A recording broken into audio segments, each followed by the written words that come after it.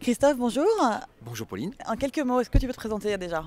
Euh, je m'appelle Christophe Battier, je travaille, ben, je suis le voisin, je, tra- je travaille juste à côté à l'Université Lyon 1 sur le campus de Ladois et le campus de Rockefeller. Je suis directeur technique du service SICAP, qui est un service qui s'occupe de tout ce qu'on va dire, pour faire simple, tout ce qui est innovation pour l'enseignement à l'université. Donc on est une quarantaine de personnes avec trois, trois grands axes de, de- de travaux. Il y a cinq personnes qui travaillent sur un système qui permet de diffuser les contenus et les activités euh, en ligne pour les étudiants. C'est à peu près 20 000 étudiants au jour, euh, rien que pour Lyon 1. Euh, ensuite, on a des gens qui créent des contenus. Donc on fait plein de choses, simulation, animation, euh, euh, illustration. Euh, on a quatre personnes qui font de l'infographie 3D. Et on va ouvrir un MOOC sur la 3D et l'anatomie bientôt. Et donc euh, il y a beaucoup d'illustrations à faire en physique, en chimie, enfin dans tous les domaines scientifiques et, et médicaux. En France, pour positionner un peu nos initiatives en termes de MOOC par rapport à l'Europe, on en est où?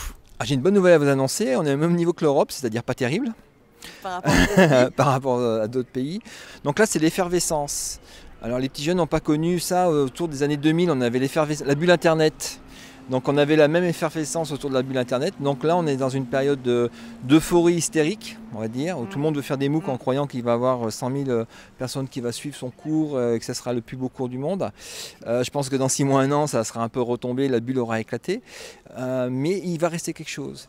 Il va rester euh, deux choses, c'est-à-dire que euh, on va construire des nouveaux dispositifs. Et on- le numérique euh, commence à être compris par les profs en disant il faut faire quelque chose autour du, du numérique et par les institutions. On voit, c'est la première fois où je vois nos gouvernances, euh, ministères, euh, présidences, etc., etc., qui disent oulala, là, ouais. oula, le numérique, euh, on peut être concurrencé par d'autres universités, alors que ça fait 10 ans qu'on leur dit. Ça, c'est la première chose. Donc, ça, ça va faire euh, ce gap-là. Et la deuxième chose, c'est la sacralisation du diplôme.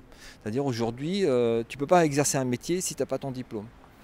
Et maintenant, il y aura une- toute une série de nouveaux métiers qui n'existent pas aujourd'hui, où on va pouvoir apprendre des compétences, montrer ce qu'on sait faire à partir de ces dispositifs-là.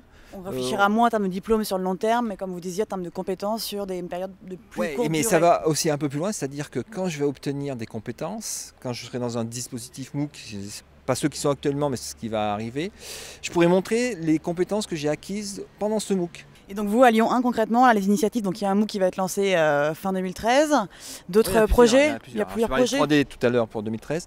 Il y en a un qui ouvre euh, dans 15 jours, qui s'appelle e-learn au carré, où là on fait un MOOC pour apprendre à faire les MOOC.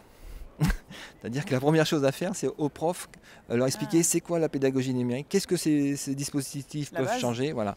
Et donc on fait un cours, euh, on, a repris un cours qu'on fait depuis plusieurs années pour nos enseignants, qui s'appelait e-learn au carré, où on a une partie tutorée et on mettait, on, on apprenait aux profs de faire des cours en ligne, en ligne.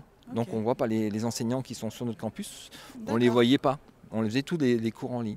Et donc déjà ça c'est un choc pour un enseignant. Parce qu'un enseignant, lui pour lui, enseigner c'est être à telle heure, tel jour, à tel endroit avec des étudiants devant lui. À partir du moment où tu commences à lui dire ah ben là c'est pendant une semaine, tu as des compétences à voir dans ta, sur YouTube, sur machin, sur truc, là il dit mais c'est plus un cours. Déjà c'est un premier choc. Dès qu'ils arrivent sur le cours, on voit qu'il y a Ouais. mais c'est pas un cours ça, c'est pas structuré, mais si c'est à toi de te structurer. Et déjà ce changement là, c'est très dur à vivre pour un prof. Mais il faut donc, Donc, il faut, faut qu'on enseigne. à Voilà. différemment. Exactement. Merci beaucoup, Et bien de rien, à la prochaine. à la prochaine.